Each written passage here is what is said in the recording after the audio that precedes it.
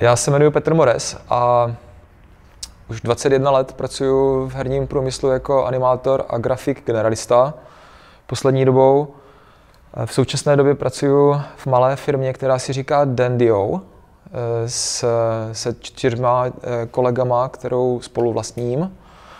A pracujeme na mobilní hře The Muscle Hustle, která je z prostředí amerického wrestlingu. A mimo to jsem eh, pracoval, když půjdu v čase zpátky na začátku desátých let na eh, Androidové aplikaci Inner Garden, kterou jsem dělal se svým bráchou Pavlem. A předtím jsem pracoval v Cryteku Frankfurt jako principal animator, bylo, můj, bylo moje role. Tam jsem pracoval asi pět let na eh, sérii Crisis a na nepublikovaných prototypech.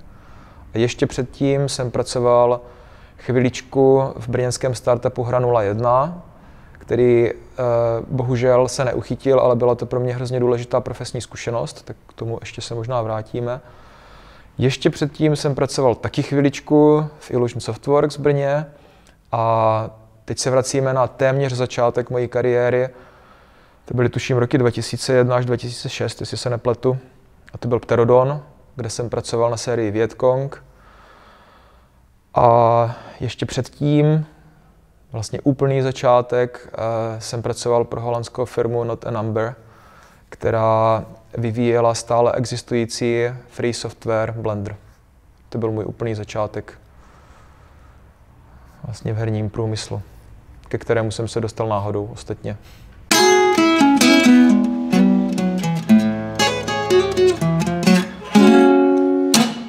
Já se možná budu plést, já to úplně neumím, jo, takže...